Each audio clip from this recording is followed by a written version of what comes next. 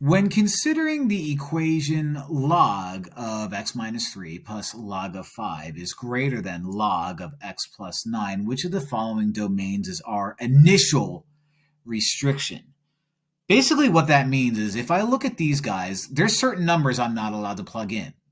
And that has to do with u, and that has to do with u.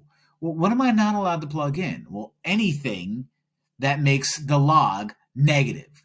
Negative so I'm not allowed to plug in three, but I'm also not allowed to plug in anything less than three or equal to it.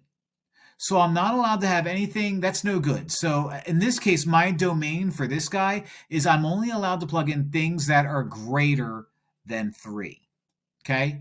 Because those are no good.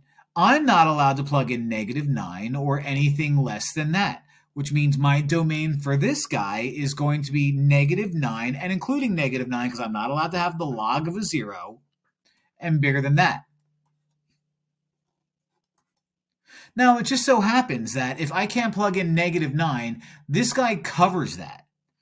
Right? If I'm like I'm not allowed to plug in 3, great. That's included in this guy right here. So this is going to be my ultimate guy. If I were to just choose that, you are saying, I'm allowed to plug in two and one and zero, and you're not allowed to plug those in.